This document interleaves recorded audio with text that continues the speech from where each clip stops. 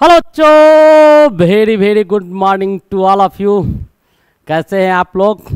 मस्ती में है ना? बिल्कुल मस्ती में रहना चाहिए। क्यों नहीं रहे? आखिर क्यों नहीं रहे मस्ती में? क्या? क्योंकि एग्जामिनेशन तो बहुत करीब है। एग्जामिनेशन आ गया है। तो जिस वक्त का इंतज़ार था, वो इंतज़ार की घड़ी ख़त्म हो गई है। और देखते देखते ये भी समय कट जाएगा, चला जाएगा। जो होना होगा, वो तो होगा ही। जो बच्चे अच्छे से प्रिपरेशन किए होंगे, उनका रिज़ल्ट बेहतर होगा नो डाउट ठीक है? जिसका प्रिपरेशन बेस्ट होगा, उसका रिज़ल्ट भी बेस्ट होगा, जिसका नहीं होगा, उसका लक जाने। क्या? लक लेबर चांस तो सब में रहता है, लेकिन लक लेबर चांस के बदौलत सब चीज़ नहीं छोड़ना चाहिए, नहीं? तो अपना जो कर्म है, जो हमारा कर्तव्य है, उसको बड़ी निष्ठा से पालन करना चाहिए। तो मैंने आपको इससे पहले भी कहा था कि आप लोग सबसे पहले तो हम आप लोग को ये कहेंगे कि जो भी बच्चे अभी तक, शुरू से लास्ट तक जितना भी लेक्चर आपको, जिस किसी भी लेवल का आपको eight nine tenth eleven twelve ठीक है, सभी सब्जेक्ट का जो प्रोवाइड किया, उसको आप लोगों ने देखा, और पॉलिटेक्निक का जो सीरीज़ चल रहा है तो जो इस चैनल को सब्सक्राइब नहीं किए हैं, वो पहले आप क्या कीजिएगा, इसको सब्सक्राइब कीजिए लाइक कमेंट और शेयर ये भी आप लोग को करना है। क्योंकि अब ये एक ऑथेंटिक प्लेटफॉर्म की ओर बढ़ता हुआ नज़र आ रहा है और बिल्कुल बढ़ भी रहे हैं तो हमारे पास लगभग डेढ़ सौ प्लस लेक्चर जो है, वो पुरने वाले हैं। तो लगभग 110-15 के करीब चला गया है तो दो चार दस दिन के अंदर ये आपका डेढ़ सौ प्लस के रेंज में चला जाएगा। सारे फैकल्टी अब काम करना बिल्कुल शुरू कर देंगे। तो आप लोग सब्सक्राइब नहीं किए हैं तो दो सेकेंड का समय निकाल के सब्सक्राइब कर लीजिए। और आज जो हम पॉलिटेक्निक का जो सीरीज़ में, पॉलिटेक्निक का जो लेक्चर लेके आए हैं, वो बहुत ही महत्वपूर्ण लेक्चर है, बहुत ही महत्वपूर्ण लेक्चर है। लगभग जितने भी क्वेश्चंस इसमें लिए गए हैं, वो सारे के सारे क्वेश्चंस आपको कैलकुलेशन बेस्ड क्वेश्चन है। और जितने भी छूटा बढ़ा जो भी क्वेश्चन था, जो क्वेश्चन आपको बार बार अटेम्प्ट करता है। जैसे जैसे हम लेक्चर को बैक करके फॉरवर्ड आगे की ओर बढ़ रहे हैं, वैसे वैसे किसी भी काम को जब आप कीजिएगा कंटिन्यू करते रहिएगा तो आपका कॉन्फिडेंस लेवल बढ़ते चला जाएगा और छोटे छोटे चीज़ पर भी आप फोकस करना शुरू कर देंगे और आपको जो वेल स्टैंडर्ड चीज़ लगेगा, वहाँ की ओर आप पहुँचना शुरू कर देते हैं। तो आज जो आपके सामने हम लेक्चर लेके आए हैं, वो मॉडल पेपर का सेट है। और ये मॉडल पेपर का सेट में किसका सेट लाए हैं, ज़रा वो देखिएगा।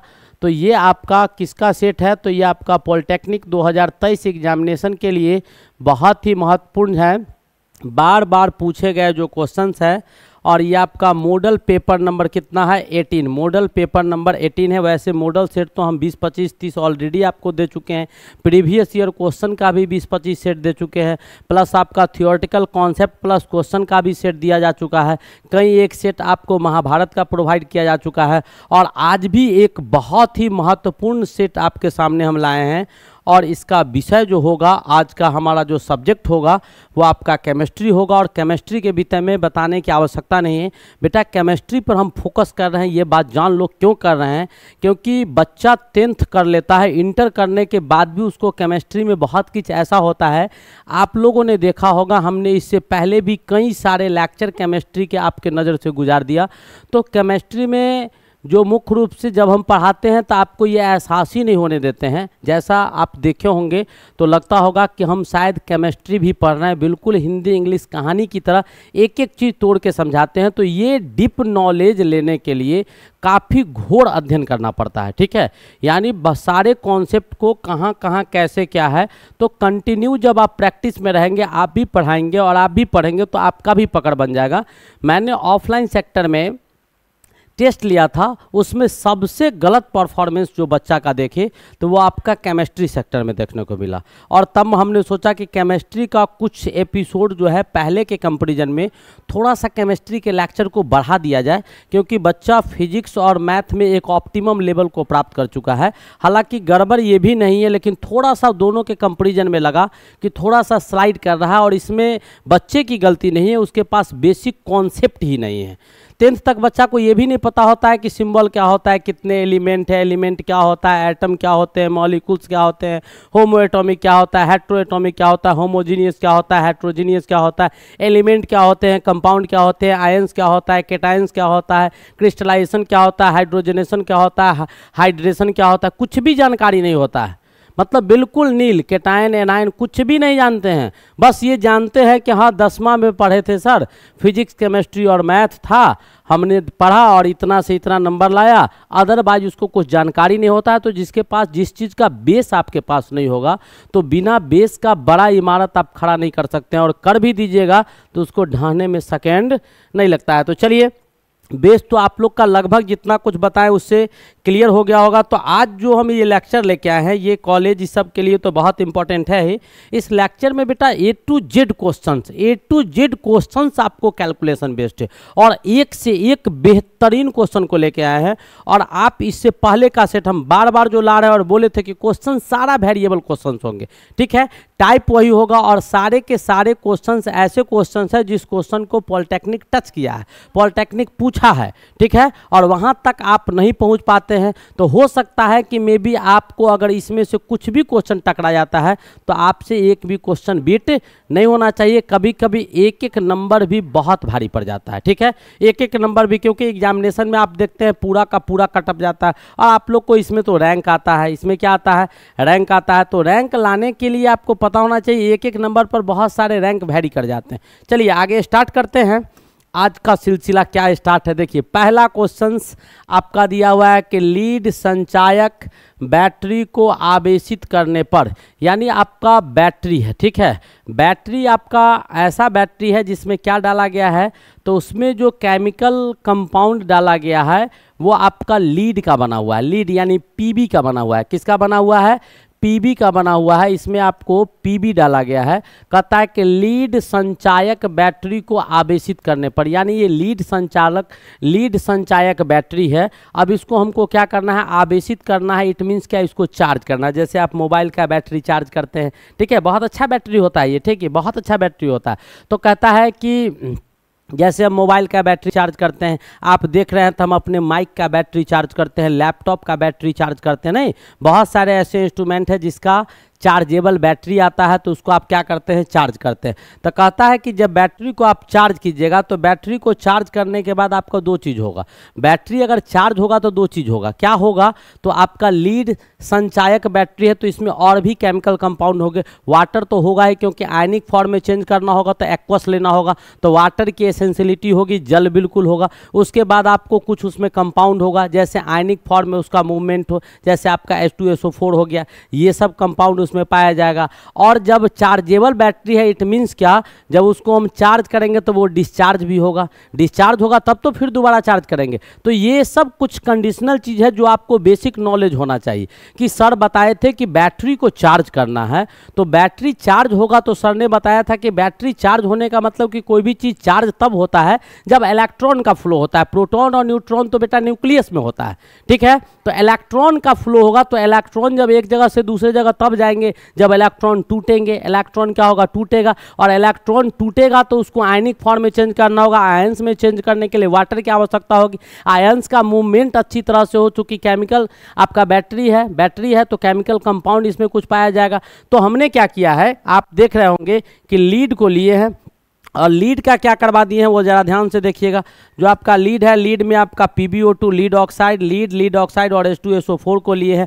अब इसका विसर्जन करवा दिए। क्या करवा दिए? विसर्जन करवा दिए। यानी हम इसका क्या किए? यूज़ किए। इसको क्या किए? हम यूज़ किए। विसर्जन करना मतलब क्या? कोई भी चीज़ जैसे हम पूजा वूजा करते हैं, उसके बाद विसर्जित कर देते हैं। विसर्जित कर देते हैं मतलब क्या? हम उसको यूज़ कर लिए। यानी जो हमारा काम था, जैसे सरस्वती पूजा है तो भगवती का पूजा कर लिए। उसके बाद मिट्टी का मूर्ति, परंपरा है, रखा नहीं जाता है तो हम उसका विसर्जन विसर्जन कर देते हैं। क्या कर देते हैं? विसर्जन कर देते हैं। फिर अगले साल जो है, सारा चीज़ रख लेते हैं। बस जो प्रतिमा होता है मिट्टी का, पूजा पाठ, सारा निष्ठा से कर लेते हैं और मिट्टी के प्रतिमा को जाके एक श्रद्धा भाव से विसर्जित करते हैं। तो यहाँ पर भी क्या करता है कि लीड लीड ऑक्साइड और एस को हम क्या करते हैं? विसर्जित करते हैं। तो पी हमारा बन क्या जाता है?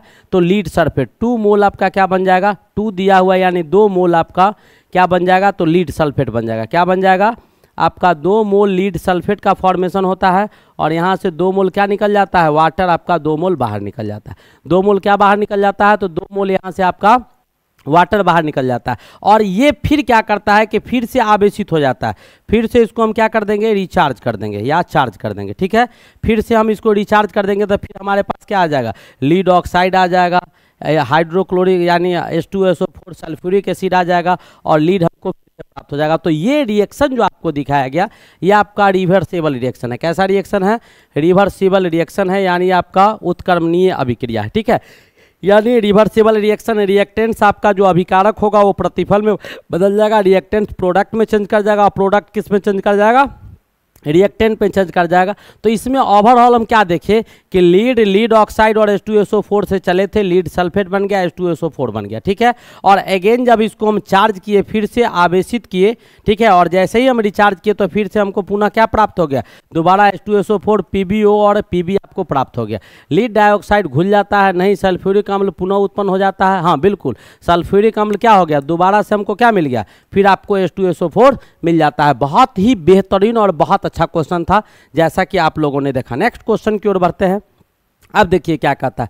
निम्नलिखित में से किसकी ऑक्टेन संख्या शून्य होती है? भाई, ऑक्टेन किसका शून्य होगा? तो ऑक्टेन वाला का था, निम्न ऑक्टेन। सिंपल था। ठीक है? एन आपका हैप्टेन का। ऑक्टेन संख्या शून्य होगा, ये ऑक्टेन से पहले। ऑक्टेन से पहले, यानी ऑक्टेन संख्या क्या कहता है? शून्य होता है। तो सेवन तक होगा, आठवां नंबर उसका क्या होगा? ज़ीरो होगा। तो आपका ऑप्शन क्या होगा? एन हैप्टेन हो जाएगा। क्या हो जाएगा? एन हैप्टेन हो जाएगा। नेक्स्ट, आगे का देखिएगा। क्या कहता है कि जब फिनॉल को, किसको? फिनॉल को जिंक जिंक किस फॉर्म में लिया गया है? धूल के रूप में, यानी पाउडर के फॉर्म में। जिंक किस फॉर्म में? तो देखो, हम बताते हैं कि ये आपका स्टेट भी बहुत ज़्यादा मायने रखता है। जब आप किसी कैटलिस्ट का इस्तेमाल करते हैं, उत्प्रेरक का इस्तेमाल करते हैं, हालाँकि जो बच्चा केमिकल सरफेस केमिस्ट्री पढ़ा होगा पृष्ठ रसायन तो उसको कैटलिस्ट के विषय में बहुत जानकारी होता है। क्योंकि वहाँ पर कैटलिस्ट के विषय में एक लार्ज एक्सपेंट में हमको पढ़ना है, ठीक है?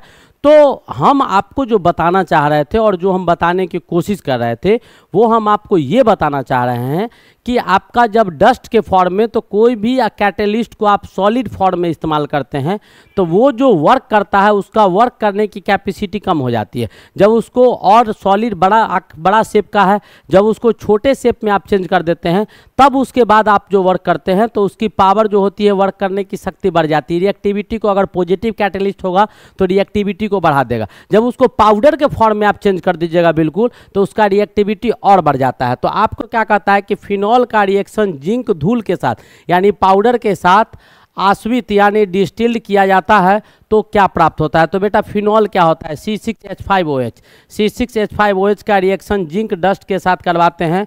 तो आपका C six H five O H यानी फिनॉल का रिएक्शन हम किसके साथ करवा दिए? तो जिंक डस्ट के साथ करवाते हैं तो बन क्या जाता है? तो ये आपका बेंजीन बन गया है, ठीक है? और ये आपका जिंक ऑक्साइड क्या हो गया? यहाँ से बाहर निकल गया। जिंक ऑक्साइड यहाँ से क्या हो गया? बाहर निकल गया। तो हुआ क्या? तो बेंजिन का फॉर्मेशन हुआ। किसका फॉर्मेशन हुआ? बेंजीन का। तो कहता है कि रिएक्शन करवाने के बाद क्या प्राप्त होगा? तो हमको बेंजिन प्राप्त होगा। क्या प्राप्त होगा? बेंजिन प्राप्त होगा। ये आपका नेक्स्ट क्वेश्चन था। अब कहता है कि आवर्त सारणी के सभी आवर्त के अर्न में अंत में तो बेटा आवर्त सारणी जो होता है, जरा सा हम इसके विषय में बता दें, आवर्त सारणी जो होगा, जिसको पीरियडिक टेबल बोलते हैं, आपको ये क्वेश्चन आया है, बहुत कुछ पूछ सकता है, क्या सब पूछ सकता है, क्या सब संभावनाएँ बनती हैं, क्योंकि पीरियडिक टेबल आपको पढ़ना है तो आवर्त सारणी में टोटल आवर्त जो होता है, वो आपका सात होता है। पूछ सकता है, आवर्त का कितना संख्या होता है, सात होता है, ठीक है?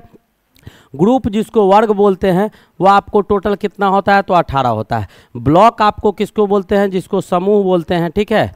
समूह या जिसको ब्लॉक हम लोग इंग्लिश में बोलते हैं और इसको हम लोग ग्रुप बोलते हैं। ठीक है? और इसको हम लोग क्या बोलते हैं? तो पीरियड बोलते हैं। इसको हम लोग क्या बोलते हैं? पीरियड बोलते हैं। तो ये आपका चार होता है। चार में कौन होता है? स्मॉल लेटर से लिखते हैं। S P D N F लिखा जाता है। ठीक है? शुरू में जब आप देखिएगा लेफ़्ट साइड में तो लेफ़्ट साइड में पूरा आपका मेटल भरा होता है। क्या भरा होता है? धातु भरा होता है। दाहिने तरफ़ देखिएगा तो सब में आपका इनर्ट गैस होता है। क्या होता है? इनर्ट गैस होता है, जिसको अक्रिय गैस बोलते हैं। अक्रिय गैस कहा जाता है। तो कोई भी ग्रुप आप लीजिएगा, कोई भी ग्रुप से अगर मान लो यहाँ भी टू नंबर लिए तो इसके लास्ट में आकर नंबर लिए तो इसके लास्ट में अक्रिय हमारे पास क्वेश्चन क्या है? आवर्त सारणी के सभी आवर्त के अंत में क्या पाया जाएगा? तो निष्क्रिय गैस यानी अक्रिय गैस पाया जाएगा। कौन सब? तो अक्रिय गैस कौन सब होता है? तो आपका हीलियम हो गया, नियोन हो गया, आर्गन हो गया, जेनोन हो गया, क्रिप्टोन हो गया, रेडोन हो गया। ठीक है? ये होते हैं और इन सभी में थोड़ा सा रिएक्टिविटी अगर किसी का देखिएगा तो वो बेटा जेनोन का होता है। ठीक है? अदरवाइज़ जितने भी ऑक्टेट कंप्लीस गैस है, जो इनर्ट गैसेज है, अक्रिय गैस है, जो निष्क्रिय गैस है, बिल्कुल केमिकल रिएक्शन नहीं करता है, वो हमेशा पीरियडिक टेबल के दाहिने तरफ़ पाया जाता है। कहाँ पाया जाता है? दाहिने तरफ़। वैसे भी पीरियडिक टेबल में लेफ़्ट टू राइट अगर हम बढ़ते हैं, बाएँ से दाएँ की ओर तो रिएक्टिविटी घटने का काम करता है। मेटेलिक बिहेवियर भी इधर आपका सारे के सारे धातु होते हैं। उधर बढ़िएगा तो मिश्र धातु आता है, जिसकी संख्या सात होती है, उसके बाद अधातु आता है और अधातु के लास्ट में आपका क्या आ जाता है? तो इनर्ट गैस आ जाता है। ये भी आपको समझ में आ गया होगा, बहुत ही बेहतरीन क्वेश्चन था। नेक्स्ट क्वेश्चन देखिएगा। क्या कहता है कि मिथाइल ब्रोमाइड को जिंक के साथ गर्म करने पर क्या प्राप्त होगा? तो करवा दीजिए ना। C H two B R two को जिंक के साथ गर्म किए तो जिंक ब्रोमाइड और आपका कौन सा गैस प्राप्त हुआ? तो इसको तोड़ दीजिए। C double bond C C double bond और क्या गया? C H two C H two और सी एच क्या दिया हुआ है? सी एच टू यानी ये आपका एच एच एच एच क्या प्राप्त हुआ? तो इथाइन प्राप्त हुआ। क्या प्राप्त हुआ? तो इथाइन यानी सी टू एच टू प्राप्त हुआ है। क्या प्राप्त हुआ है? C two H two ethyne प्राप्त हुआ। क्या प्राप्त हुआ? इथिन प्राप्त हुआ। तो क्या प्राप्त कर रहे हैं हम लोग? तो C two H two four ना सी टू एच फोर का फॉर्मेशन कर रहे हैं। किसका फॉर्मेशन कर रहे हैं? सी टू एच फोर का फॉर्मेशन कर रहे हैं। जब C H two B R two को हम बाहर निकालेंगे तो आप यहाँ पर जब देखिएगा तो एक चीज़ और है। इसका भी फॉर्मेशन कर सकते हैं। सी टू एच सिक्स करो। सी टू एच सिक्स इससे बेहतर स्टेबिलिटी किसका होगा? सी टू एच सिक्स का होगा। किसका होगा? सी टू एच सिक्स का बेहतर एबिलिटी होगा। और यहाँ पर हम लोग तीन गो को बाहर कर देंगे और किसको प्राप्त कर लेंगे? तो सी टू एच सिक्स को प्राप्त करेंगे। हमने ऐसा रिएक्शन क्लोरीन के केस में भी करवाया है। एक एक करके क्या हो जाएगा?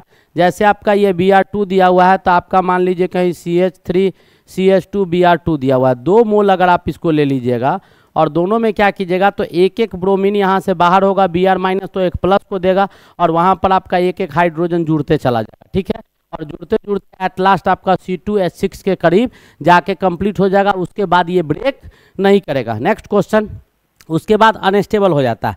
अब क्या कहता है कि बेंजीन में कार्बन कार्बन दूरी कितना होता है? बेंजीन का फॉर्मूला आप जानते हैं सी सिक्स एच सिक्स होता है। इसके स्ट्रक्चर को भी जानते हैं। बेंजीन का ज़रा ध्यान से देखिएगा तो आपको समझ में आएगा। अल्टरनेटिव आपको डबल बॉन्ड होता है। ये आपका बेंजीन का साइक्लिक स्ट्रक्चर है, जैसा कि आपको दिखाया जा रहा है। बेंजीन का ऐसा भी स्ट्रक्चर होता है। ये सारे के सारे स्ट्रक्चर आपको बेंजीन के स्ट्रक्चर है। ठीक है? बेंजीन का आपका स्ट्रक्चर ऐसा भी होता है, ये सारा स्ट्रक्चर हम आपको बेंजीन का दिखा रहे हैं।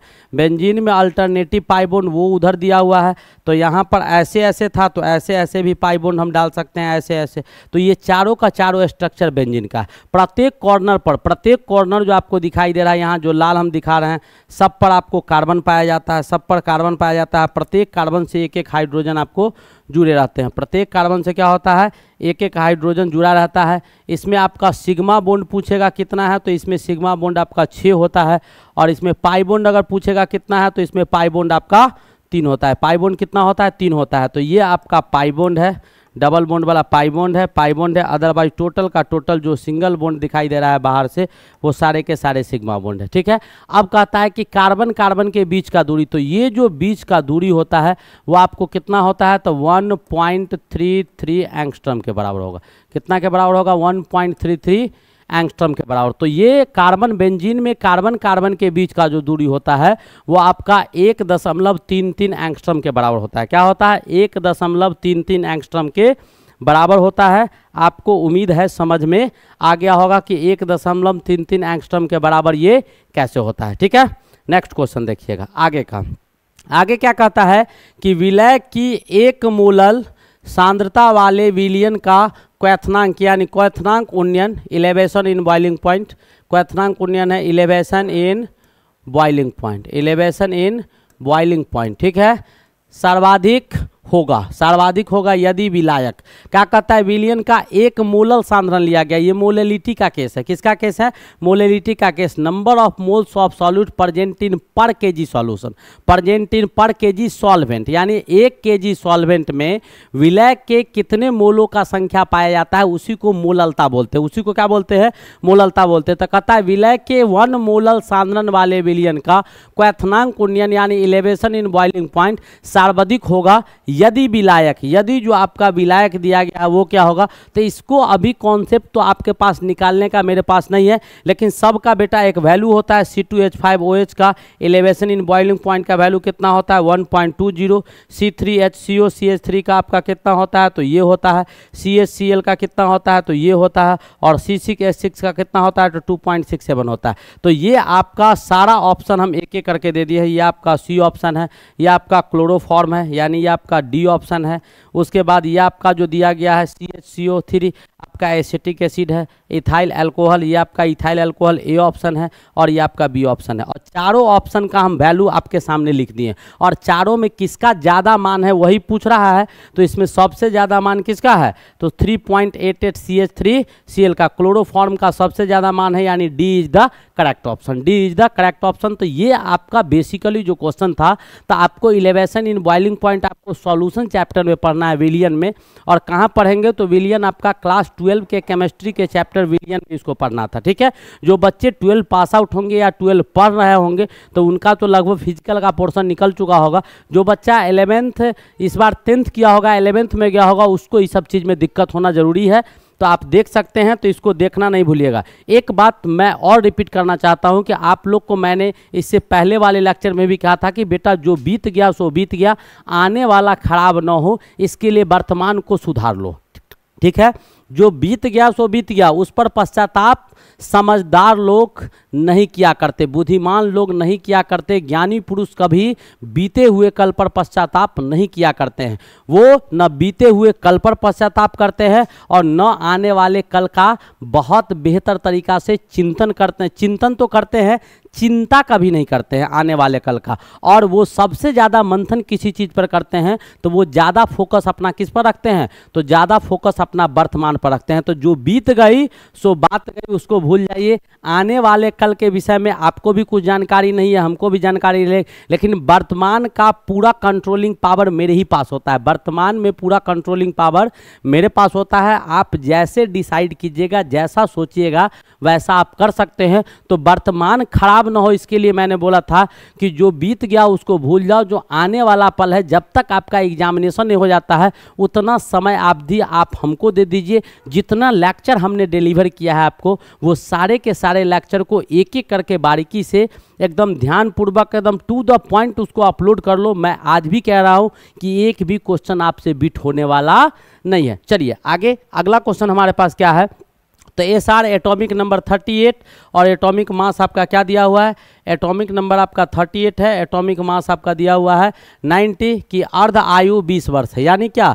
ये आपका एलिमेंट है, इसका आधा आयु जो है वो 20 वर्ष दिया गया। आपको पता होगा कि एज का निर्धारण सब चीज़ में कर दिया जाता है। ठीक है, जैसे मनुष्य का एज है तो मनुष्य के एज का निर्धारण सरकार कितना कर दिया है? साठ बरस। आप कितनों हष्ट पुष्ट है, फिर भी आपका साठ बरस होगा या पैंसठ बरस होते होते आपका रिटायरमेंट इशू हो जाता है और आप सरकार के नज़र में आपकी आयु समाप्त हो जाती है। आप वे उस अवस्था में चले जाते हैं जिसमें सरकार की जो लिस्ट बनाई गई है, उसमें आपको ये घोषणा घोषणा कर दिया जाता है कि इनकी समय अवधि अब समाप्त हो चुकी है। कहीं भी जाइएगा तो उम्र आपको लिखा जाता है, क्योंकि आदमी तो काम करता ही है सब चीज़, उसके बाद भी उसको क्या कर दिया जाता है? डिस्चार्ज कर दिया, चाहे हस्ट पुष्ट जो भी रहे तो तीस बरस पार कर गए इट मीन्स कि आधा आयु आप पास कर, पार कर गए।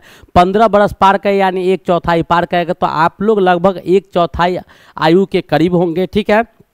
तो एक चौथाई तो कहता है कि इसका जो अर्ध आयु है, वो आपका ट्वेंटी वर्ष दिया गया है टी वन बाई टू कहता है कि यदि इसका एक नमूना जिसकी प्रारंभिक एक्टिव एक्टिवता आठ हज़ार विघटन पर मिनट। है अब इसमें से जो आयु इसका घट रहा है ना, उस हिसाब से एक नमूना, एक सैंपल को निकाला गया और उसमें देखा गया कि एक्टिवनेस जो है इसके आयु पार करने का और कैसे कैसे बढ़ रहा है और घट रहा है, वो आपको पता चला कि आठ हज़ार विघटन पर मिनट। यानी एक मिनट में आठ हज़ार बार ये विघटित होता है, क्योंकि ये सब्सटेंस आपको दिखाई दे रहा है रेडियो सक्रिय सब्सटेंस है तो विघटन विघटन इसमें तेज़ी से होगा, ठीक है? तो आठ हज़ार बार पर मिनट में विघटन होता है तो उसकी अस्सी वर्ष पश्चात एक्टिवता कितना होगा? यानी कहने का मतलब यह है कि जब वो आधा आयु उसका 20 साल था, और 20 साल जब बीत गया, आधा आयु जब 20 साल हो गया उसका, तब वहाँ से एक नमूना, एक सैंपल निकाले, तब पता चला कि एक मिनट में ये आठ हज़ार बार क्या होता है? विघटित होता है। अब कहता है कि अस्सी वर्ष हो गया तो अस्सी वर्ष होने का मतलब क्या? बीस साल आधा था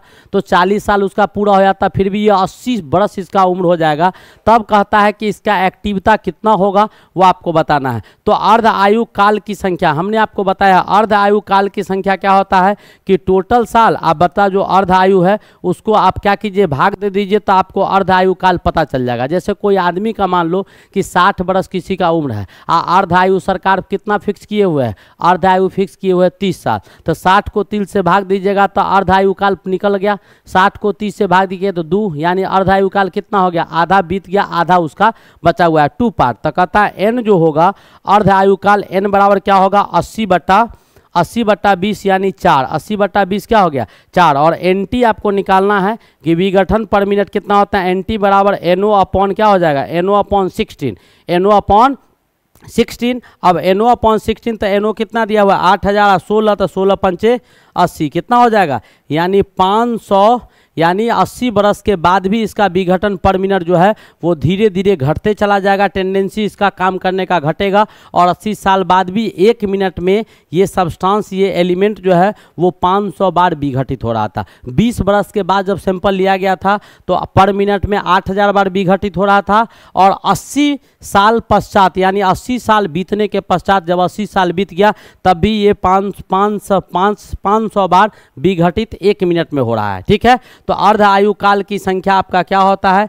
टी बट्टा टी वन बाई टू इसे निकाल देंगे। तो टी आपका कितना है? तो अस्सी साल में पूछ रहा है। अर्धायु किसका था? ट्वेंटी ट्वेंटी से भाग दे दी तो कितना आ गया? ये आ गया। और एन टी बराबर एन नॉट अपॉन क्या? जो आपका अर्धायु काल है N naught upon N square होता है। तो फोर का स्क्वायर सिक्सटीन हो जाएगा। एन नॉट आपका कितना दिया हुआ था? आठ हज़ार विघटन दिया हुआ था ट्वेंटी साल के दौरान। जो हमने ट्वेंटी यहाँ लिया था ट्वेंटी साल के दौरान, आठ से सोलह से भाग दे दिए। तो हमको पता चल गया कि एक मिनट में अस्सी साल के बाद ये विघटित कितना बार होगा।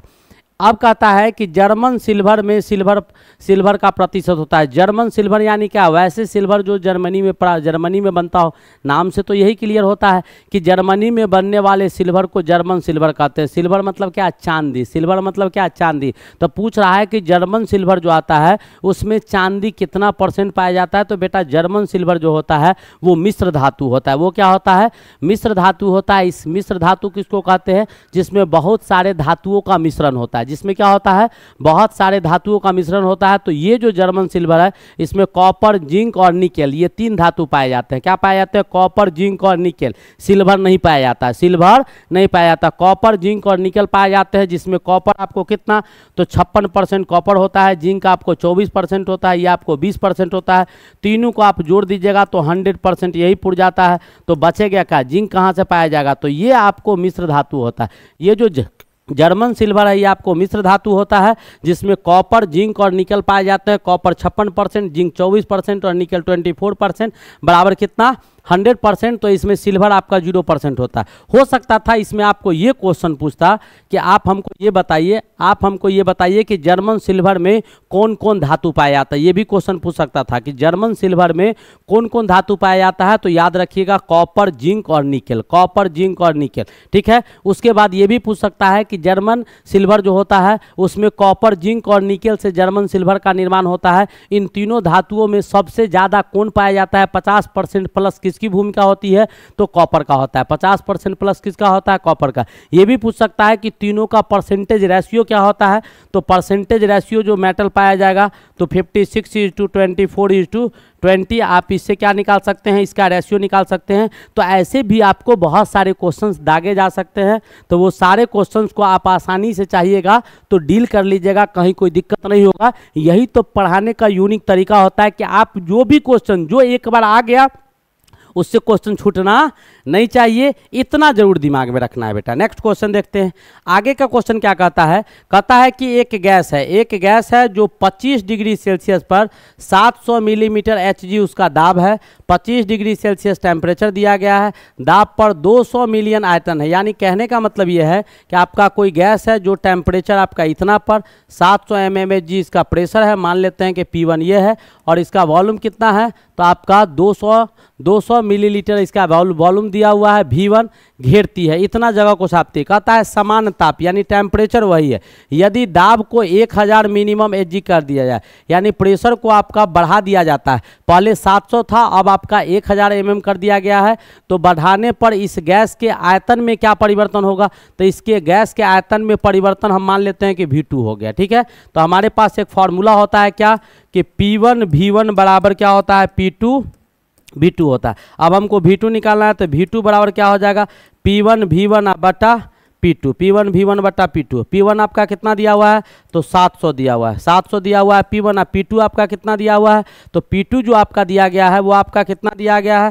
तो पी टू आपका दिया गया है कितना? लगभग आपको पी टू मेरे ख्याल से, देखो, कितना दिया हुआ है? जल्दी बताओ। जल्दी बताइएगा पी टू आपका कितना दिया गया है?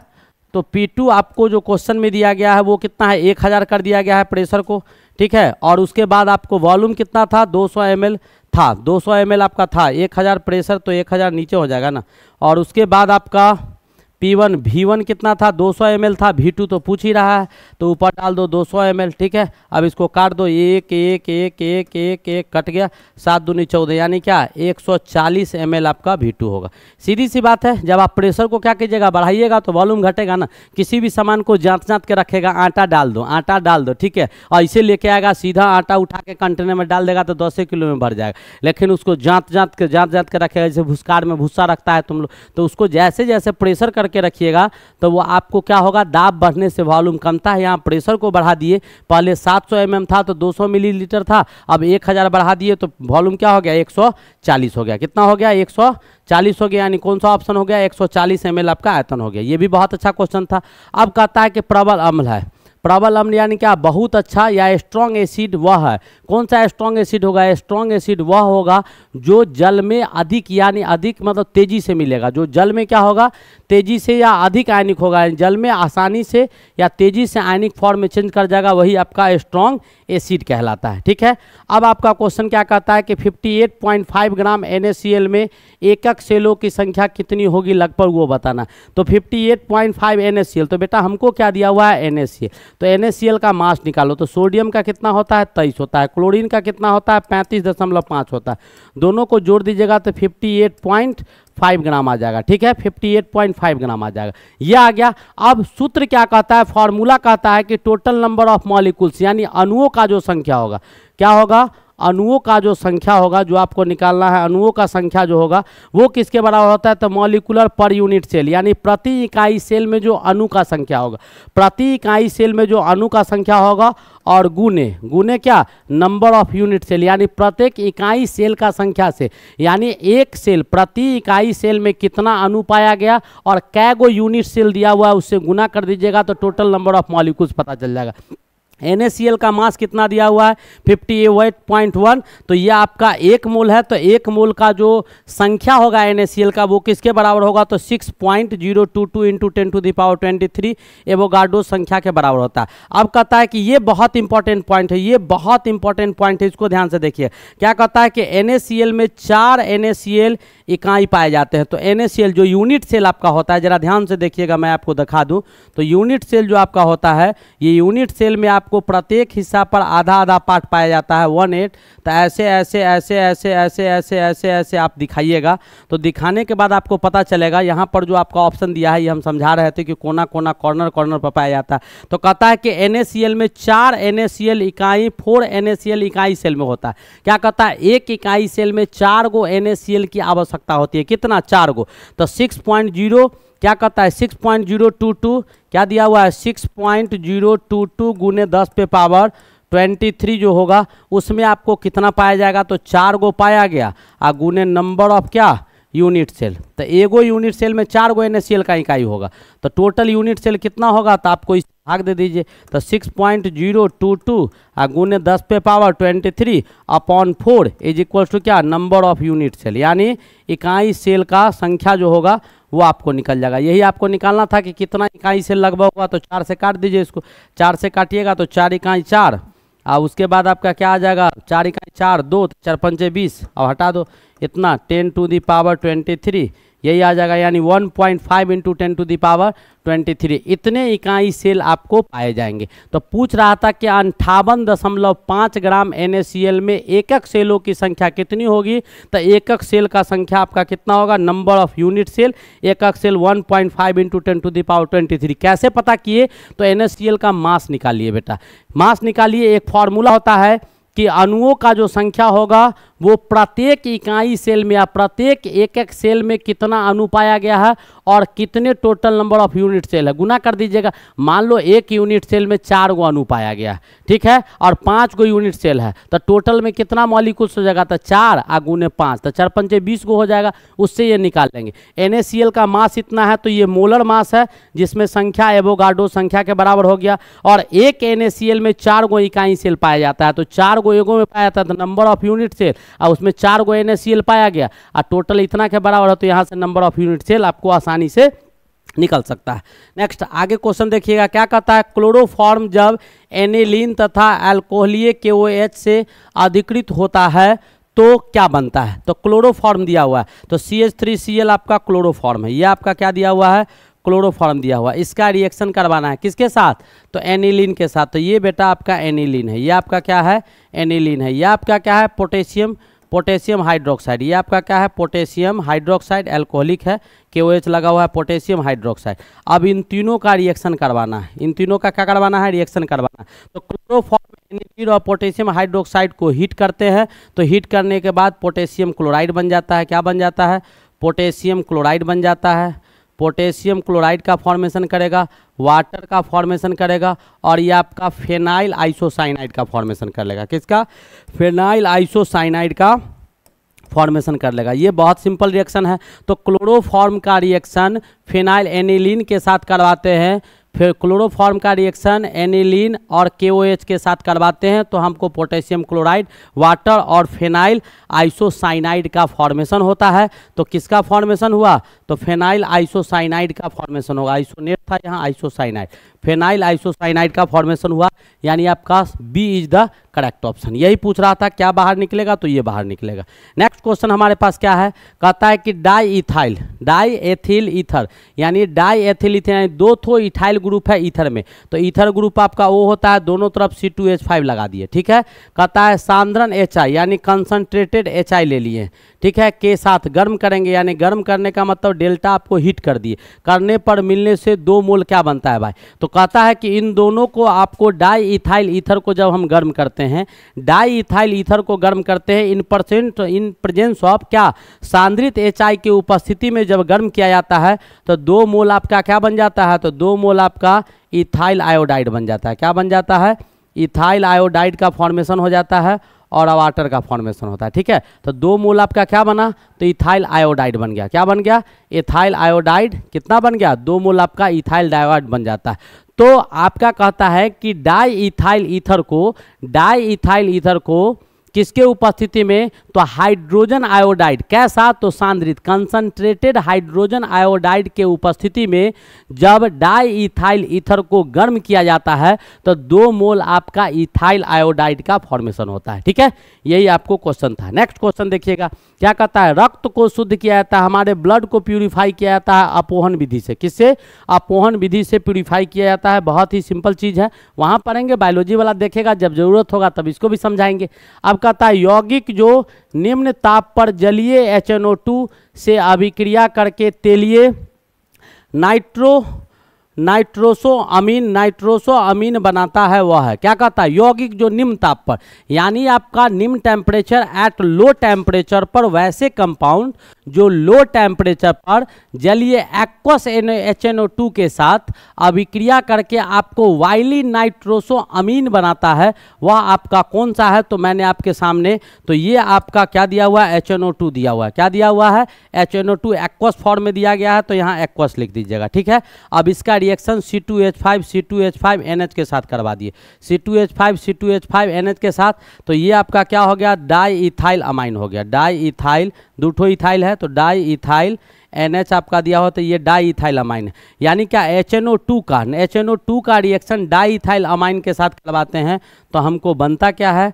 तो डाई इथाइल डाई इथाइल किसका? डाई इथाइल अमाइन का फॉर्मेशन होगा। डाई इथाइल अमाइन का फॉर्मेशन हुआ।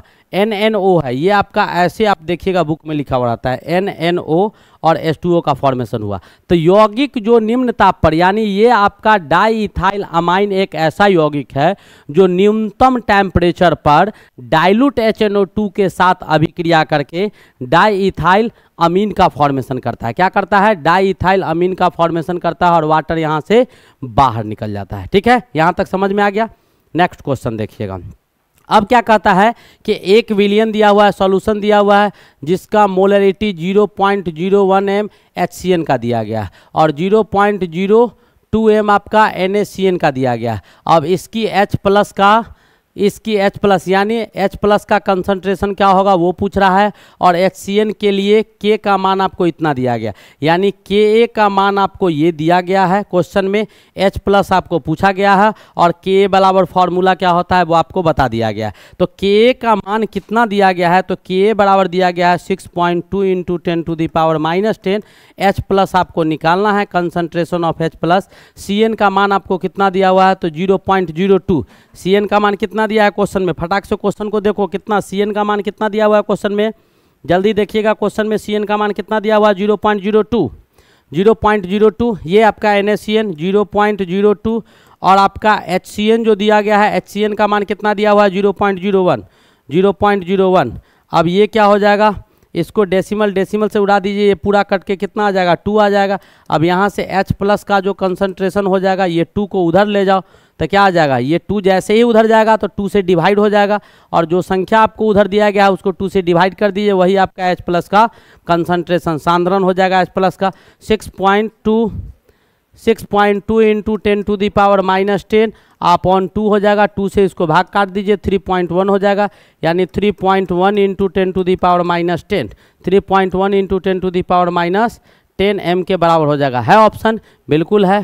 यानी ये इज़ द करेक्ट ऑप्शन। तो बेटा, ये क्वेश्चन आप माइंड सेटअप कर लीजिए कि आपको एक क्वेश्चन कंसंट्रेशन का बिल्कुल रहना ही रहना है, नो डाउट कि नहीं रहेगा। एक क्वेश्चन आपको कंसंट्रेशन का एग्जामिनेशन में ऑलरेडी पूछेगा, हमेशा पूछता है, प्रत्येक सेट हम करवाए हैं, चाहे वो मॉडल सेट हो, मॉडल पेपर हो, प्रीवियस ईयर का क्वेश्चन हो, कॉन्सेप्ट प्लस क्वेश्चन हो, प्रत्येक केमिस्ट्री के सेट में एक क्वेश्चन आप देखे होंगे तो ये कंसंट्रेशन पीएच मान वाला ज़रूर रहता है, ठीक है? ऐसा आप ध्यान में रखेंगे। नेक्स्ट क्वेश्चन देखिएगा, क्या कहता है कि एसीटिल क्लोराइड एसीटिल क्लोराइड का पीडी के साथ, पेडियम के साथ उपस्थिति में हाइड्रोजन द्वारा अपचयन यानी रिडक्शन होने पर बनता है। तो क्या कह रहा है कि आपका एसिटल क्लोराइड यानी C H three O C L ये आपका क्या है? एसीटाइल क्लोराइड, ठीक है? एसीटाइल क्लोराइड दिया हुआ है। अब इसका रिएक्शन किसके साथ? तो हाइड्रोजन के उपस्थिति में, वहाँ लिखा हुआ है। In presence of hydrogen hydrogen के द्वारा इसके पीडी के उपस्थिति में जो जाइलिन होता है, तब क्या बनाएगा? तो C H three C H O यानी ये किसका फॉर्मेशन किया? तो इथेनल का फॉर्मेशन किया और हाइड्रोक्लोरिक एसिड का हाइड्रोक्लोरिक यहाँ एसिड बाहर निकला। हाइड्रोक्लोरिक हाइड्रोक्लोरिक एसिड यहाँ से क्या हो गया? बाहर निकल गया। हाइड्रोक्लोरिक अम्ल बाहर निकला। C H three C H O ethanal का फॉर्मेशन किया और इस रिएक्शन को देने का काम किया था? रोजन मन तो इसको रोजेन रोजेन मंड रिएक्शन भी कहा जाता है। रोजेन मंड रिएक्शन अभिक्रिया भी कहा जाता है, ठीक है? क्योंकि इसको देने का काम वो किया था। तो किसका फॉर्मेशन हुआ? तो इथेनल का फॉर्मेशन हुआ C H three C H O का फॉर्मेशन होता है, ठीक है? उम्मीद है समझ में आ गया होगा। नेक्स्ट रिएक्शन देखिएगा।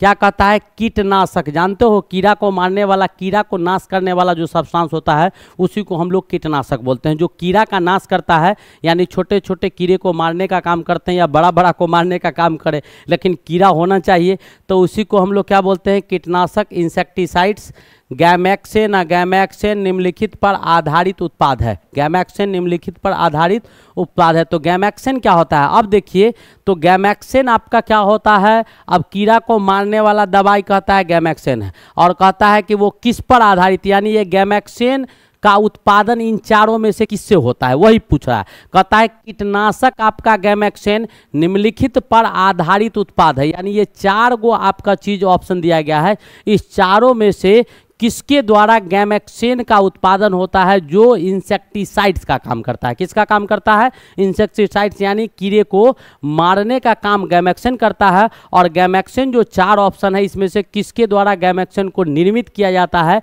बनाया जाता है, गैमेक्सेन को उत्पादित किया जाता है? तो देखिए बेटा, क्या लिखे हैं कि बेंजीन हेक्साक्लोराइड जो है, उसके नौ आइसोमर्स होते हैं। बेंजीन हेक्साक्लोराइड्स के नौ आइसोमर्स होता है और नौ आइसोमर्स में एक आपका गामा आइसोमर होता है।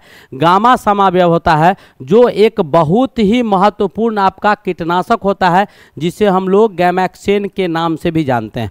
तो किसके द्वारा? तो बेंजीन हेक्साक्लोराइड बेंजीन हेक्साक्लोराइड एक ऐसा रासायनिक यौगिक है जिसके नौ समावयव होते हैं और उस नौ समावयव में से एक बहुत ही महत्वपूर्ण इंसेक्टिसाइड्स होता है जिसको हम लोग गामा समावय बोलते हैं और उसी का नाम क्या होता है? गैमैक्सन होता है। उसी का नाम क्या होता है? गैमैक्सन होता है। उम्मीद है समझ में आ गया होगा। नेक्स्ट क्वेश्चन कहता है, हजामत बनाने वाला साबुन अधिक झाग बनता है, अधिक झाग बनाता है, तथा शीघ्र सूखता नहीं है। यह किसकी उपस्थिति के कारण होता है? अब हजाम के पास जाएगा, बाल कटवाने, दाढ़ी कटवाने जाता है। नहीं फेशियल करवाने इलीच करवाने, ब्लीच करवाने, आईब्रो बनवाने भाव बनवाने, नाक कटवाने, कान कटवाने, पहुँचता है ना, सर कटवाने, सर मुड़वाने, गर्दन कटवाने, हाथ कटवाने, पहुँचता है। तो आप लोग जो सैलून के पास जाते हैं, सैलून वाले के पास जाते हैं, हजाम के पास जाते हैं तो हजाम जिस साबुन का प्रयोग करता है, हजाम जिस केमिकल्स का प्रयोग करता है फोम लगा के बनाता है क्रीम लगा के बनाता है तो आप उसके यहाँ जाइएगा तो जाइएगा किसी और से, एकदम पूरा खूबसूरती स्टिंग पिस्टिंग करके पूरा रूपरेखा क्या कर देगा? बदल देगा तो पूरा रूपरेखा जो बदल देता है तो उसके द्वारा जो साबुन इस्तेमाल किया जाता है, उसी में कह रहा है कि वो जो साबुन इस्तेमाल करता है, वो आपको झाग बहुत ज़्यादा बनाता है। वो आपका झाग का फ्लक्स का फॉर्मेशन बहुत ज़्यादा करता है, दूसरा कहता है कि वह तुरंत सूखता नहीं है। आप जो घर में इस्तेमाल करते हैं, नहा लीजिएगा तो साबुन सूख के बुझाएगा, एकदम चमड़ा उधर रहा है, मिट्टी की तरह झड़ रहा है, ठीक है? लेकिन उसका सूखता नहीं है। वही कह रहा है कि उसका जो साबुन होता है, वो इतना नमयुक्त होता है कि आपको तुरंत ड्राई नहीं होता है और झाग अधिक बनते हैं तो किसके कारण? तो ये आपका रोजिन और ग्लिसरीन के उपस्थिति के कारण बेटा होता है। रोजिन और ग्लिसरीन के उपस्थिति के कारण ऐसा देखने को मिलता है। नेक्स्ट क्वेश्चन क्या कहता है, एक निर्जल पदार्थ है। निर्जल पदार्थ यानी क्या? आपका कंसनट्रेटेड या एनहाइड्रेटेड पदार्थ। एनहाइड्रेटेड यानी जिसमें वाटर मॉलिक्यूल्स बिल्कुल नहीं है, ठीक है? जिसमें जल नहीं है, जल के अणु नहीं है, उसी पदार्थ को हम लोग निर्जल पदार्थ बोलते हैं। तो कहता है, एक निर्जल पदार्थ का मॉलिकुलर वेट जो है, वो आपका 64 दिया हुआ है। क्या दिया हुआ है? उसका जो मॉलिकुलर वेट आपका दिया गया है, वो आपका आणविक भार 64 दिया हुआ है। और क्रिस्टलीय मतलब जलीय। क्रिस्टलाइजेशन का मतलब होता है एडिशन ऑफ़ वाटर। क्रिस्टलाइजेशन का मतलब भी होता है एडिशन ऑफ़ वाटर जल का जोड़ना। तो कहता है कि क्रिस्टलीय अवस्था में अनुभार 100 है। यानी जब आपका पानी नहीं मिला हुआ है तब उस पदार्थ का भार कितना दिया हुआ है? अनुभार मॉलिकुलर वेट आपका चौंसठ है। जब उसमें पानी मिला दिया जाता है तो उसका अनुभार कितना बन जाता है? 100 बन जाता है। तो कहता है कि क्रिस्टलीय पदार्थ के एक अणु में जल के अणुओं की संख्या कितना होगा? तो क्रिस्टलीय पदार्थ का एक अणु जो होगा ना, उसे एक अणु में जल का कितना संख्या होगा? यही आपको निकालना है। तो हमने मान लिया कि निर्जलीय पदार्थ का अनुभार कितना? चौंसठ। और जलीय, जिसको क्रिस्टलीय पदार्थ का एक सौ। तो कहता है, जल का भार कितना हो गया भाई? चौंसठ बिना पानी का था, पूरा पानी मिलाने के बाद एक सौ था। इसका मतलब क्या?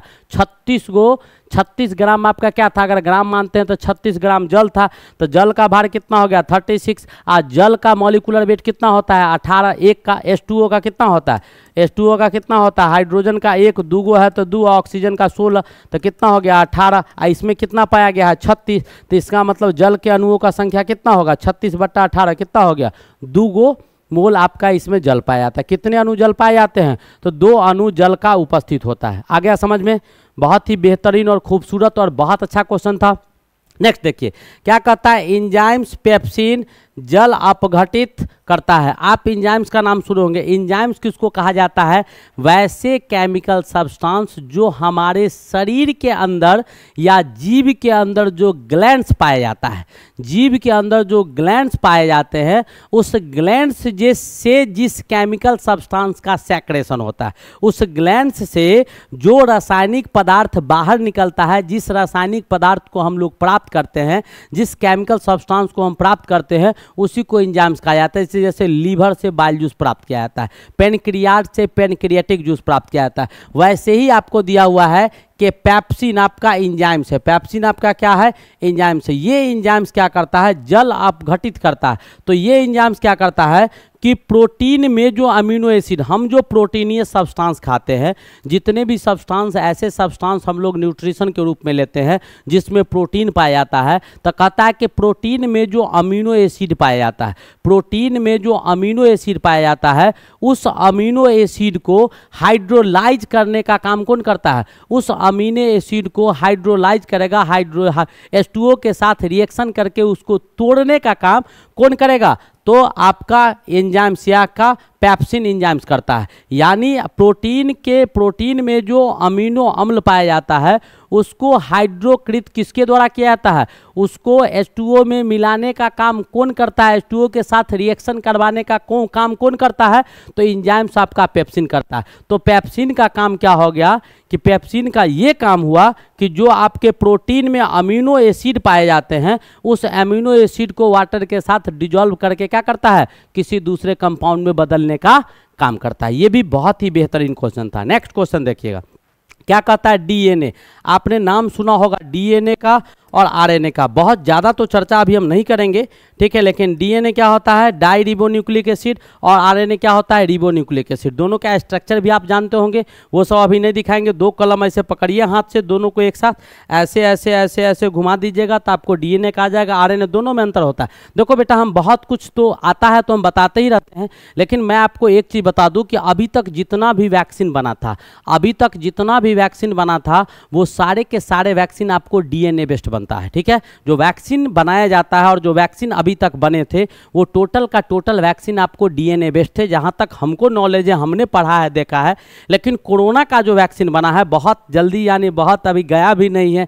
बीच में देखा था, अपने आते जाते रहता है उतार चढ़ाव होते रहता है। अभी पूर्ण रूपेण वो गया नहीं है, उस पर हंड्रेड परसेंट कंट्रोल हम लोगों का अभी नहीं हुआ है। लेकिन कोरोना का कोरोना का जो वैक्सीन बना है, वो एक ऐसा वैक्सीन है, जो आरएनए बेस्ड वैक्सीन है। आरएनए पर आधारित कोरोना का वैक्सीन बनाया गया। इससे पहले अभी तक जितने भी वैक्सीन आपको बनाए गए हैं, वो सारे डीएनए बेस्ड होते हैं। हमको ये जानना नहीं था, फिर भी आया तो ऐसा कुछ नॉलेज था, ऐसा कुछ घटना था जो हमने आपको बता दिया। क्या कहता है कि डीएनए का उत, उत्परिवर्तन निम्नलिखित में से एक के क्रम में परिवर्तन परिवर्तन के कारण होता है। तो किसके क्रम में परिवर्तन के कारण होता है? तो डीएनए में, क्षारकों के परिवर्तन के कारण होता है। डीएनए का उत्पुत क्या कहता है? उत्परिवर्तन निम्नलिखित में से एक के डीएनए देखो। वैसे तो डीएनए आपको बिल्कुल चीज़ बिल्कुल सही चीज़ है। आप देखते होंगे कि बहुत कुछ जब ऐसा होता है तो लास्ट में डीएनए टेस्ट करवाया जाता है। एक आदमी का डीएनए लाखों, लगभग पाँचों लाख या लाखों लोगों में किसी एक का दूसरे से मिल जाए तो मिल जाए, नहीं तो नहीं मिलता है। अगर मान लो किसी के संपत्ति पर, जैसे टाटा ग्रुप है, उनके पास कोई बाल बच्चे नहीं हैं।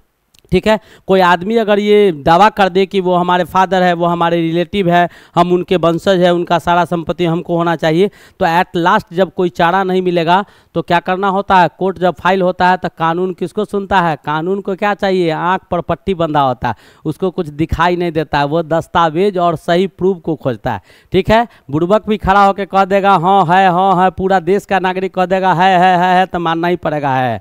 तो लास्ट में आपको डीएनए टेस्ट करवा के तब देखा जाता है। तो वही कहता है कि डीएनए का उत्परिवर्तन निम्नलिखित में से एक के क्रम में परिवर्तन, यानी डीएनए में परिवर्तन आपको तब हो सकता है जब आपको क्षारकों में परिवर्तन हो जाएगा। तब डीएनए में होगा अदरवाइज़ डीएनए में परिवर्तन संभव नहीं है। बहुत ही बेहतरीन क्वेश्चन था। नेक्स्ट कहता है निम्नलिखित, क्या कहता है? निम्नलिखित अणुओं में से कौन सा रेखीय है? अब रेखीय अणु मतलब क्या कहता है? निम्नलिखित अणुओं में से कौन सा रेखीय अणु है? तो ये क्वेश्चन बड़ा टिपिकल क्वेश्चन हम इसको जरा समझाने की कोशिश की है। आप समझने का कोशिश कीजिए। क्या कहता है कि NO2 टू प्लस आयन जो होता है, वो CO2 आयन के सम इलेक्ट्रॉनिक होता है। यानी आपको NO2 प्लस आयन लीजिए। सम इलेक्ट्रॉनिक यानी दोनों में इलेक्ट्रॉन समान होगा। अब देखिएगा, नाइट्रोजन का एटॉमिक नंबर सात होता है तो सात लिख दो। ऑक्सीजन का एटॉमिक नंबर आठ होता है तो दो गो है तो आठ आ दो सोलह हो गया। तो सोलह सात कितना हो गया? सोलह चार बीस तीन तेईस हो गया। आ एगो प्लस है तो एगो दे दिया। तो तेईस में एगो दे दिया तो कितना बचा? बाईस बचा। इसमें बाईस इलेक्ट्रॉन हो गए। अब कार्बन डाइऑक्साइड का लो। तो कार्बन डाइऑक्साइड, कार्बन का कितना? छः ऑक्सीजन का कितना? सोलह। तो ये भी कितना हो गया? बाईस इलेक्ट्रॉन। तो दोनों में इलेक्ट्रॉन का संख्या सेम हो गया, यानी आइसो इलेक्ट्रॉनिक हो गए ये दोनों क्या हो गए? आइसो इलेक्ट्रॉनिक हो गए, यानी सम इलेक्ट्रॉनिक हो गया। क्या हो गया? सम इलेक्ट्रॉनिक हो गया। ये दोनों आपका सम इलेक्ट्रॉनिक हो गए क्या हो गए दोनों में इलेक्ट्रॉन का संख्या समान है, इसलिए ये आपका सम इलेक्ट्रॉनिक हो गया। अब कहता है कि NO2 आयन की संरचना CO2 की भांति रेखीय होगी। अब दोनों सम इलेक्ट्रॉनिक हो गया तो CO2 का जो संरचना होता है ना CO2 अब CO2 का संरचना कैसे है? ये तो पढ़ना है, हम खूब पढ़ाते हैं, लेकिन जान लो, जैसे CO2 का संरचना लिखेगा तो सी डबल बोन्ड ओ और डबल बोंड वो ऐसा होता है। और इसको जब ऐसे देखिएगा तो यहाँ पर आपका सी है, यहाँ पर ओ है यहाँ पर वो है, दोनों के बीच का एंगल कितना आया? 180 डिग्री। तो आपका एक रेखीय संरचना हो गया। बिल्कुल ऐसे ही आपका NO2 का होगा। NO2 का आपका संरचना कैसा होगा? बिल्कुल आपको ऐसे ही होगा। NO2 प्लस का भी संरचना आपको संरेखीय ही होगा। तो ये आपको जानना था तो हमने किसकी मदद से समझा दिया? CO2 की मदद से समझा दिया। जितना बताया है, उम्मीद है समझ में आ गया होगा। यहाँ तक समझ में आया कि नहीं आया, सो बताओ। बिल्कुल देखो घबराओ नहीं बेटा, हम बार बार कहते हैं, एक दिन की बात तो रही नहीं। अगर मान लो तुम लोग घबराए एक छोटे छोटे चीज़ को देख के घबरा जाइएगा तो ये ज़िंदगी इतनी बड़ी है, कितना उतार चढ़ाव ज़िंदगी में आने वाला है, उसका कोई जवाब नहीं। उसका कोई लेखा जोखा नहीं। जब तुम छोटा था चलना नहीं जानता था। ऊपर वाले कितना अच्छा नेचुरल सिस्टम बना दिया है। अपने बच्चा सब चीज़ सीखते जाता है, होते होते इतनी मैच्योर हो गए। हो आगे तो बहुत कुछ फेस करना है। हँसते खेलते झेलो, देख रहे हो। आज तक कभी कोई बच्चा ये बता दे कोई भी बच्चा ये बता दे, हँसते, खेलते, चाहे वो ऑफलाइन का हो या ऑनलाइन का इतना दिन से पढ़ रहा है बच्चा, मेरे चेहरा पर कभी सिकन भी आप लोग नहीं देखे होंगे। बिल्कुल नहीं, क्या ज़रूरत है? बनता ही नहीं है। देने वाला, ऊपर वाला, लेने वाला, ऊपर वाला तो बीच में हमको किस चीज़ का रोना है भाई? किस चीज़ का रोना है? किसी चीज़ का रोना है, नहीं होना चाहिए, बिल्कुल नहीं होना चाहिए। ऊपर वाले अगर मुँह दिए हैं तो आहार वो देंगे ही, ठीक है? चाहे कोई मलिद्दा खा ले, घी, पंतुआ, बहुत कुछ खा ले, हम सूखा रोटी ही खाएँगे, लेकिन मिलेगा ज़रूर आहार, ठीक है? लेकिन अब नहीं मिलता है तो उसको किसी जीवन का, किसी कर्म का कमाई होता है। ऐसा तो नहीं होता है, लोग कह दे। चलिए नेक्स्ट क्वेश्चन आगे क्या क्या कहता है? कहता है कि जस्ता तथा पारा, डी खंड के तत्वों की भांति परिवर्ती संयोजकता नहीं दर्शाते हैं, ठीक है? अब कहता है कि जस्ता जस्ता मतलब क्या? जिंक। कहता है कि जिंक और मरकरी। जिंक और मरकरी बेटा दोनों डी ब्लॉक में पाया जाता है। ध्यान से सुनिएगा, जिंक और मरकरी कहाँ पाया जाता है? डी ब्लॉक में पाया जाता है। और डी ब्लॉक का जो ऑक्सीडेशन नंबर होता है, वो वैरी करता है। उसकी संयोजकता वैलेंसी वैरी करता है। यानी उसकी रिएक्टिविटी वेरिएशन पर डिपेंड करता है और बहुत ज़्यादा रिएक्टिव होता है। मेटल के साथ भी नॉन मेटल के साथ भी, कब किसके साथ रिएक्शन करेगा, उसका ऑक्सीडेशन नंबर फिक्स नहीं होता है। एस ब्लॉक्स का ऑक्सीडेशन नंबर फिक्स होता है, हम हम आप लोग को बता चुके हैं। वन ए ग्रुप का ऑक्सीडेशन नंबर प्लस वन होगा। टू ए ग्रुप का ऑक्सीडेशन नंबर प्लस टू होगा। Three A four A five A six A seven A सब निर्धारित है। थ्री ए का प्लस थ्री होगा। फोर ए ग्रुप का माइनस फोर से प्लस फोर के बीच होगा। मिनिमम माइनस फोर और maximum plus four. Five A group का आपको माइनस थ्री से लेके प्लस फाइव के बीच होगा। मैक्सिमम प्लस फाइव और मिनिमम माइनस थ्री और हो क्या सब सकता है, वो भी निर्धारित होता है, वो भी हम आप लोग को बता चुके हैं। ठीक है, सिक्स ए ग्रुप का माइनस टू से प्लस सिक्स होगा। Minimum minus two, maximum plus six. Seven A group का जो है माइनस वन से प्लस सेवन होगा। क्लोरीन का कहानी इससे पहले भी आप लोग को समझाए थे। नहीं, कहीं एक बार समझाए हैं। पिछले क्लास में कह रहे थे, किसी से काम निकालना है तो उसका बात मानना होगा, ये सब चीज़ समझाए थे, याद होगा। तो क्लोरीन का, यानी सेवन ए ग्रुप का माइनस वन से, और लास्ट ग्रुप का तो आपका ज़ीरो और एट होता है। वैलेंसी ज़ीरो वैलेंस इलेक्ट्रॉन कितना होगा? आठ होगा। तो ये जो आपको हम बता रहे हैं, लेकिन डी ब्लॉक का वैरी करता है, इसमें आपका दिया हुआ है क्या? कि जस्ता, यानी आपका जिंक का और मरकरी डी ब्लॉक का एलिमेंट है, लेकिन उसके बावजूद भी ये कहता है कि डी टक्पो के भांति आपका जो इसका वैलेंसी होता है, वो भैरी नहीं करता है। क्यों नहीं भैरी करता है, वही आपको पूछा जा रहा है। तो हमने लिखा है, जिंक का एटॉमिक नंबर तीस होता है, इलेक्ट्रॉनिक कन्फिग्रेशन लिखिएगा तो ये आएगा। अब इसका डी ब्लॉक में थ्री डी का टोटल कक्षा भरा हुआ है। टोटल कक्षा भरा हुआ है। जितना इसको चाहिए, उतना सब चीज़ मिला हुआ है। बिल्कुल मरकरी एटॉमिक नंबर अस्सी होता है। इसका भी पाँचवा कक्षा जो डी का है, वो पूरा भरा हुआ है।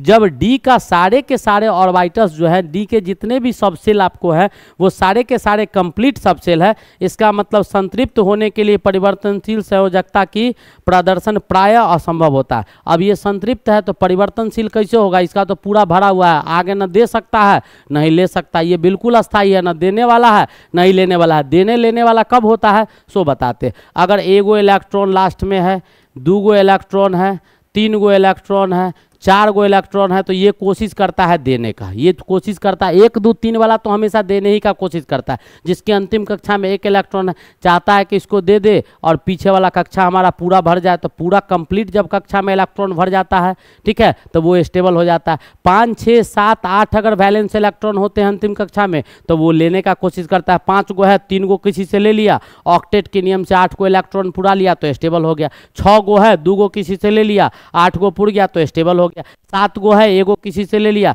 तो दुनिया का सब चीज़ जो है स्टेबिलिटी के पीछे भागता है। आप लोग भी क्यों पढ़ाई करते हैं? इसीलिए कि हम पढ़ लिखे, समझदार बने, अच्छे बने, हमारा लाइफ पैटर्न चेंज हो, बड़ी कंपनी में या बड़ा कोई सरकारी जॉब हो जाए, अपना बंगला हो, अपना गाड़ी हो, सब चीज़ हो जाए, अच्छे घर में हमारी शादी हो जाए, अच्छी पत्नी हो जाए अच्छा हमारा रहन सहन सब चीज़ हो जाए, किसी पर डिपेंड न रहे।